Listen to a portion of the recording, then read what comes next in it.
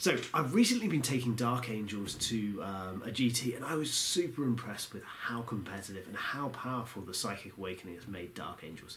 And I don't think enough people are appreciating that. So today, what I'm going to go through is some of the tricks that you're going to see Dark Angels players try and do, and the competitive builds that have come out of the Psychic Awakening.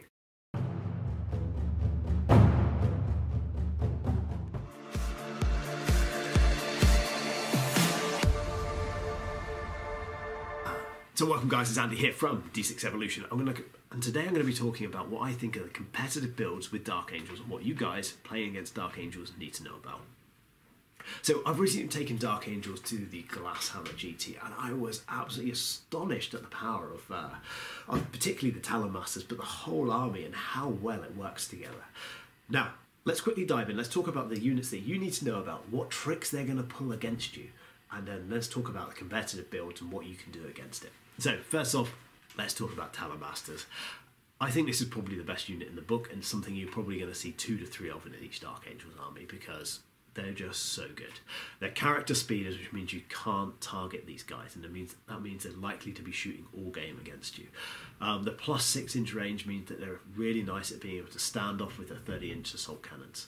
Um, you're, you're, classically going to see one of them as the warlord, and he's going to take the warlord trait, which ignores the penalties for moving and firing heavy weapons, and that's a six inch aura.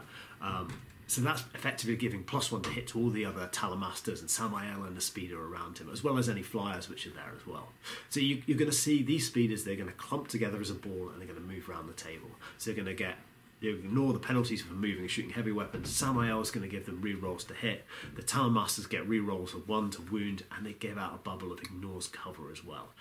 These guys are absolutely savage.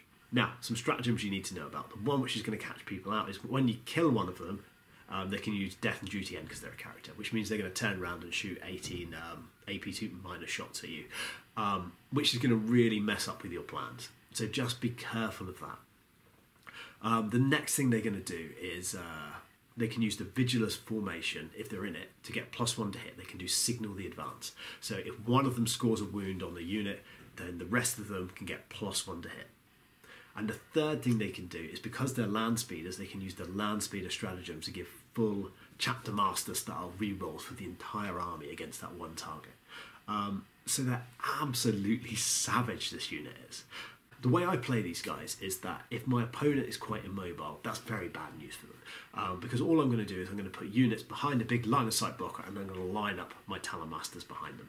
Now, that just means that my opponent can't actually shoot back against these Talon Masters. They've got good range and they're just going to sit there and shoot them.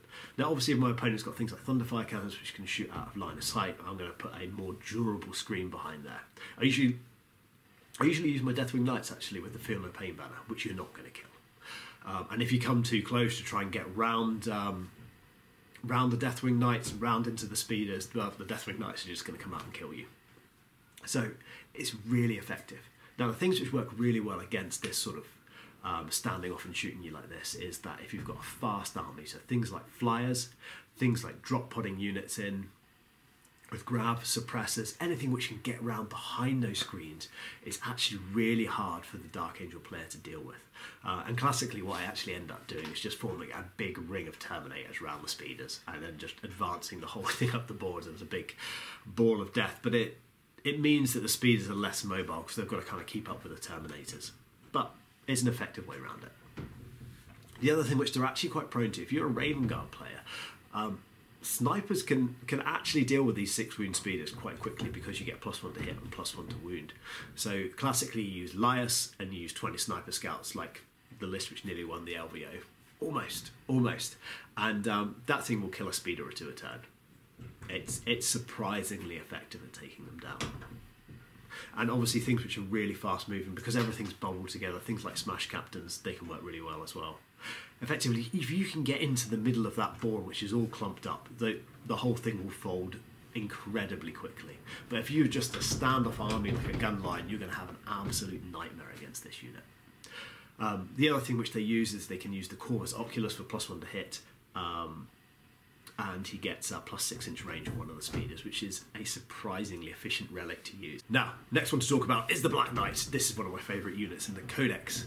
Again, another glass cannon. You're going to see this a lot in Dark Angels. Um, now, if anyone's ever running more than one unit of these plasma bikes, remember that if you get first turn, only one of the Raven Guard, uh, Ravenwing units can actually do its jinx and just split fire and shoot both of them, and only one of them is going to get its four up invulnerable save.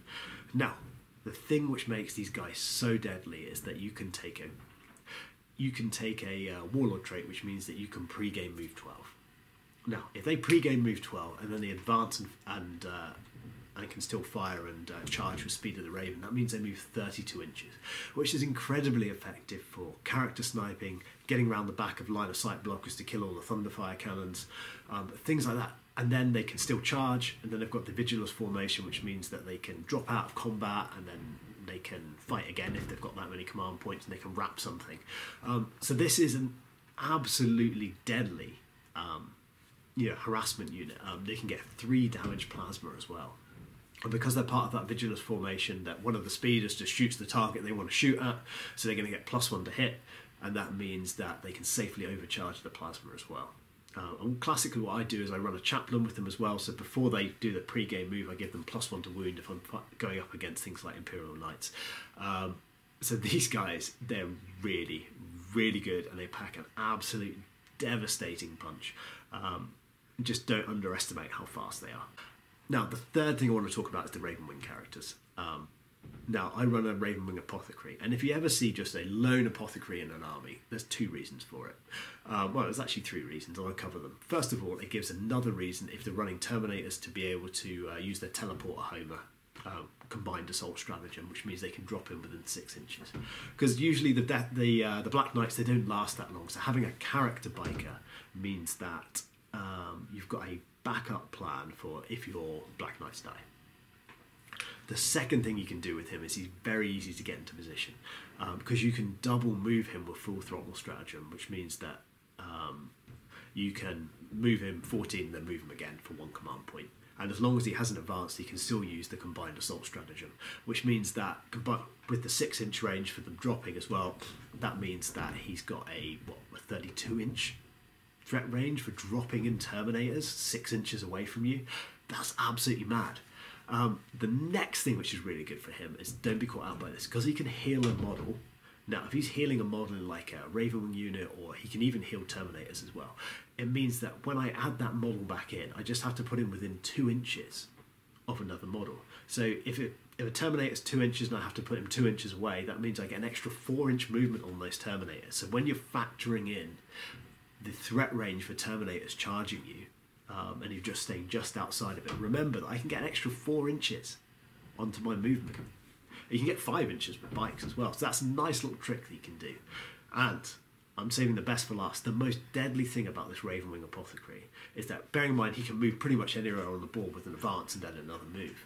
Um, he can take a relic, which means that within three inches of him, units don't get their invulnerable saves.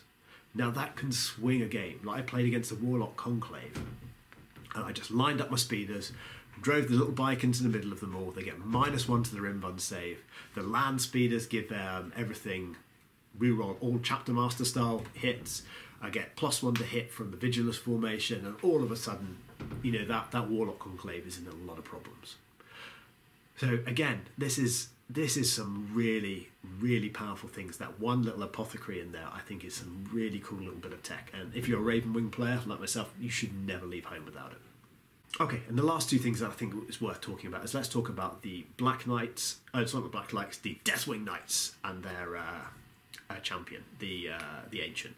So, a Deathwing Knights have gone from pretty much zero to hero in this uh, in this supplement. Um, their delivery mechanism now is absolutely crazy. Being able to drop within six inches of Ravenwing bikes and more than six inches away of, um, of opponents is really nice, particularly with that Ravenwing apothecary character.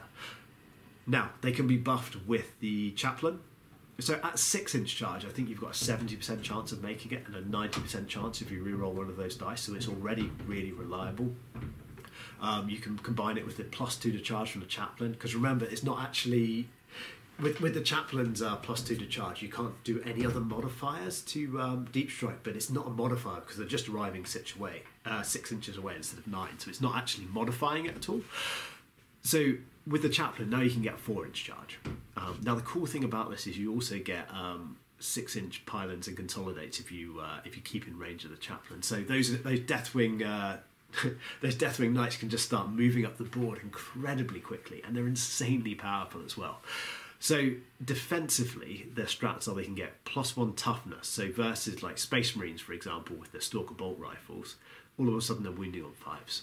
If you're in combat against Strength Four, you're gonna you're gonna use the strats for plus one toughness, and you can use the shield wall for minus one to wound in combat. So now all your Strength Fours wounding them on sixes. Um, which is ridiculous. And obviously, against like ridiculously uh, high strength stuff, you can use transhuman physiology as well. Um, which just makes these guys really survivable. Now you can take a relic banner, which I always suggest you do. Um, so you still with the relic banner, you still get to keep the plus one attack from the ancient as well, which is huge. But you also get a five up feel no pain for models within six inches of him as well. Um, it's sometimes a little bit hard to keep the uh, the banner up with the uh, up with the uh, the actual terminators, but particularly in assaults, if you drop your first line an inch away from the enemy when you when you charge in, and then you leave a inch gap, and then you've got your next line in there. So that means you're what five six inches back already, which means you'd be three, within three inches of the apothecary, not the apothecary, the ancient. So you can keep them up there, but when they start piling in and consolidating, they're six inches. He has to really run to keep up, or make his seven inch charge, um, assuming you've got the uh, the chaplain with the plus two charge in there as well. So really, really good. Now, offensively, they're absolutely disgusting as well. Uh, assuming you've got the ancient there, they're going to get four attacks each. Against hordes, you've got stratagem to give them plus one attacks. Now they're getting five attacks each, which means that that unit's getting just over 50 attacks, which are all strength eight. They can get plus one to hit as well, um, and they can fight twice because they're infantry, um, which means that they're getting an absolutely insane. These these guys, if they fight twice, they're getting over 100 strength eight attacks. Um, you can take the Warlord trait on the Ancient as well, which means that within six inches, Deathwing can reroll uh, wounds against things like uh, vehicles with more than eight wounds or monsters. So against Imperial Knights, you've got Strength 8 rerolling to wound, uh, which is absolutely insane. But these guys, are gonna, they're going to kill two Imperial Knights a turn if they, if they drop in. They're going to go in, they're going to fight with the rerolls to wound, they're going to move over to the next one with the six inch pile-ins and consolidates, and they're going to kill that as well. So, super effective. Now, there's another uh, little warlord trait you can use with the Deathwing, which is deny one psychic power. Um, I've not tried this yet, but it's an auto deny anywhere on the board. Um, now, I think against certain Eldar units which rely on like jumping into the middle of the board, getting all buffed up, and then quickening over, I think things like that, or, or cancelling a warp time, you know, leaving your opponent out in the open, out of position, I think in certain games that's going to be completely game changing, and it probably is worth taking, and probably even worth starting the uh, the banner guy on the table. Okay, so the other unit that I want to talk about, which I've used a little bit, is the Ravenwing Speeder Squadron. So you can take up to five speeders in a squadron, uh, which means that they get plus six inch to the move. So they get plus four inches, so they can move 20 now. Um, but it means that the whole unit, when it jinks, gets a four up and vulnerable save. You can run it in the Vigilus attachment, so it gets plus one to hit um, when you use the signal, the advance.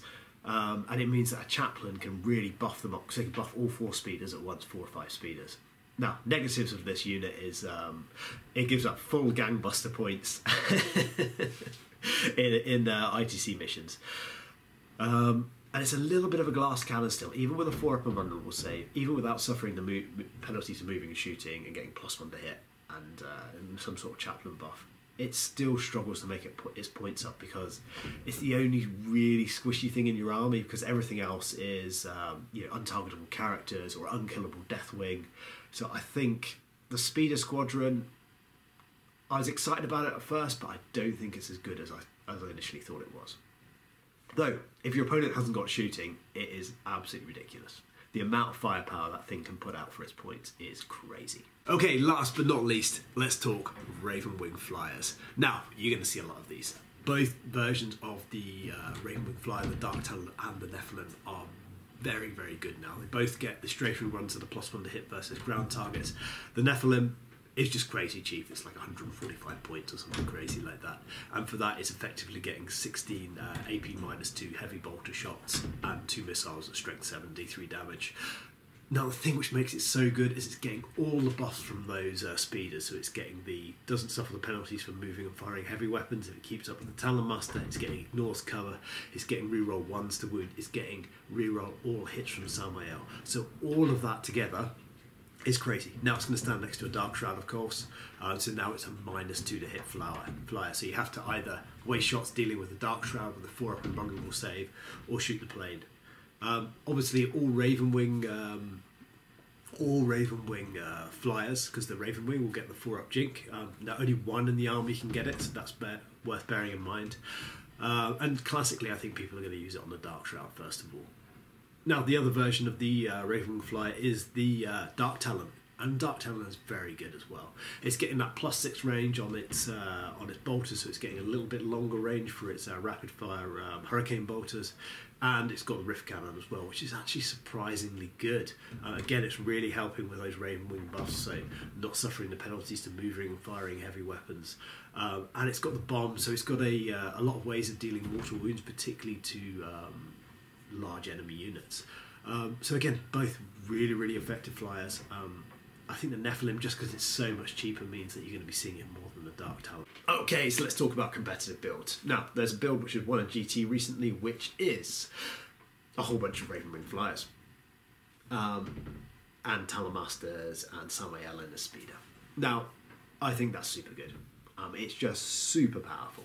Um, it's got so much ignores cover, AP minus two shooting, um, all at long range. If it goes first, it's practically going to table you. If it goes second, it's going to turtle up in the corner behind the Dark Shroud. Now, most players will put the Dark Shroud out of line of sight and just use the reactive 4 up Jink when you try and target it. Now, the way to get around these sort of things, obviously, is if you've got smash captains, if you've got assault units like Sangre Guard, which can start on the board and then uh, first turn redeploy things like that are going to cause absolute havoc for the Ravenwing, which can all turtle up. Um, and obviously, things which can get around the minus two to hit. Um, things like Chapter Master style rerolls, things which give plus one to hit, like Iron Hands. They're gonna they're gonna be able to just pretty much ignore the Dark Shroud and just take down two or three of those flyers. And I think as soon as you take down a decent chunk of those flyers, that sort of list is going to run out of steam very quickly, and it's not going to have the screens to uh, protect those Talon Masters and Samael. But it's a top tier list. It's going to do really well, and if it goes first, you're in for a world of trouble. Now, the other list that I've been running is essentially um, nine to ten Black Knights, nine to ten uh, Deathwing Knights with the with the Ancient. You've got the Apothecary, and then you've got all the speeders, which are just going to sit behind them. Again, another really good list, and it's something which doesn't look that good on paper. When you actually see people play it, it's you know it's surprisingly effective. Um, now, the difficulty with this sort of list is that it's if you're if you're facing against a mobile army, that they can get the angles on those speeders, and as soon as those speeders are dead, it's not going to do very well. So there you have it guys, that's my experience with Dark Angels at the moment. And the reason I made the video is a lot of people were messaging in and asking what I'd run at the recent GT and uh, how I'd found them and what I thought was effective. So um, I think probably the flyer build is a little bit more effective, but it's more susceptible to a turn one um, disaster, shall we say, if it doesn't go first. Um, the Terminator bomb, I think, is also surprisingly good. And hey, if you just want to run Terminators because you think Terminators are cool, um, they will do you proud. Guarantee you. I've taken them to six games at a tournament and they were absolutely awesome. So there we have it. Take care, guys.